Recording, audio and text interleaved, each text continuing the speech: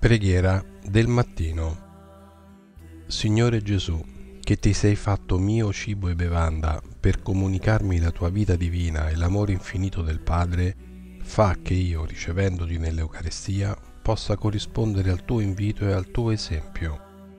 Rendimi capace di amare te sopra ogni cosa e i miei fratelli come amo me stesso. Amen.